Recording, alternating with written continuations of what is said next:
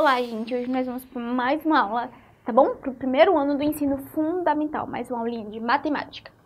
E hoje nós vamos ver medidas de comprimento, medidas de capacidade e medidas de massa. É muito simples e fácil. Prestem atenção. Medidas de comprimento. Quando vocês escutarem medidas de comprimento, é para já você, o próprio nome já diz, é para você saber o comprimento de alguma coisa, a medida de algo na medida de comprimento, né, nós podemos utilizar os centímetros e um metro. Com uma régua, tá bom? De que vocês utilizam para fazer desenhos e outras coisas. Dá para você saber a questão dos centímetros. Se você pegar a régua e botar uma borracha ou outra coisa para medir, assim, ó, vamos medir esse controle. Aqui nós temos, ó, começa no zero, tá vendo? E vai até o 6. Então, esse controle possui 6 centímetros. Então, com a régua, você pode medir muitas coisas. Já o metro, você pode saber a questão de quantos metros tem um carro.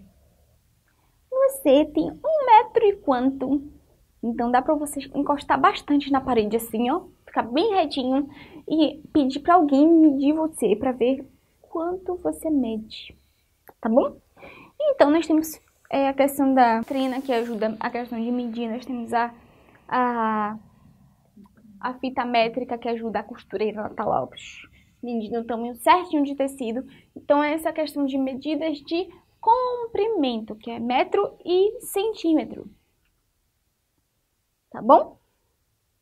Então, o centímetro nós temos mais a régua e o metro nós temos a trena e outras fitas que dá para medir. Uma pergunta básica. Observe e responda. Aqui nós temos um tecido que possui 6 metros, mas temos uma corda que possui 5 metros e nós temos um tanto de arame que possui 2 metros de comprimento. A pergunta é, qual a diferença entre as medidas da peça de tecido e do rolo de arame? Então, às vezes, você, com a questão da metragem, você vai poder fazer muitos cálculos e continhas, tá bom? Da questão do dia a dia de vocês. Olhem bem.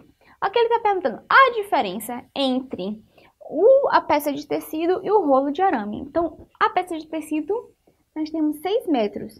E o rolo de arame, nós temos 2 metros. Qual é a questão da diferença das medidas entre o tecido e o arame? É muito simples. Com isso, vocês podem fazer uma continha de subtração. Você pode diminuir o 6 menos o 2, que aí vocês vão achar a medida de diferença. Nesse caso, nós temos 4 metros de diferença. Quantos metros medem juntos o rolo de corda e o rolo de arame? Então, aí já é quantos metros, metros medem juntos. Então, como assim juntando? Então, juntando a metragem desse mais esse, porque aqui já é, não é mais a diferença.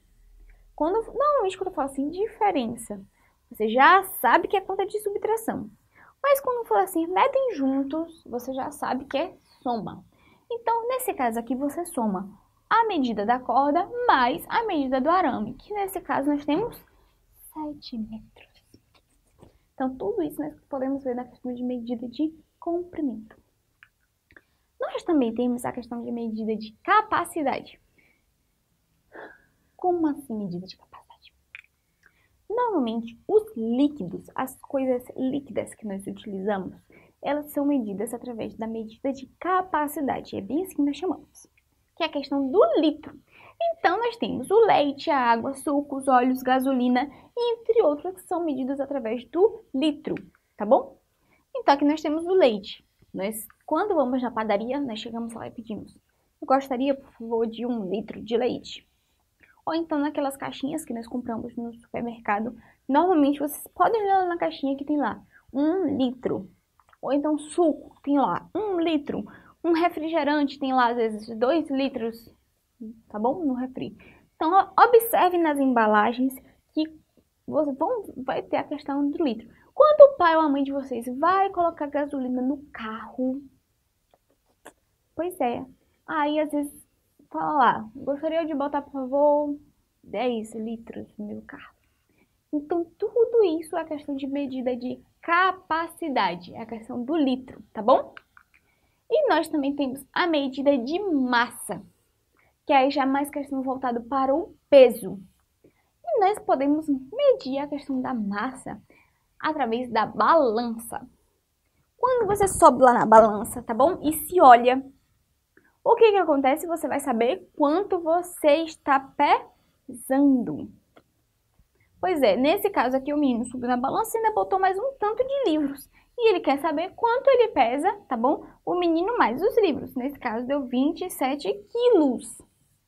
Então, então aqui nós temos algumas balanças, tá bom? Que dá pra, você, que dá pra vocês observarem. Que dá pra medir a questão da carne no açougue, da, da questão da quantidade de um, uma farinha que você compra. Então, a balança nós utilizamos por infinidade de coisas para saber o peso, tá bom? A questão de quantos quilos, as gramas, a massa, a quantidade de massa que obtém aquele produto. Então, com isso já se diz medida de massa, tá bom? Então, a nossa aula de hoje vai chegando ao fim, tá? Hoje nós vimos sobre a questão de medidas, que foi a medida de comprimento, medida de capacidade e medida de massa. Essa daqui foi alguma das referências que nós utilizamos com a questão da coleção Eu Gosto Mais de Matemática. E até a próxima aulinha. Um beijinho para todos vocês. Tchauzinho, gente.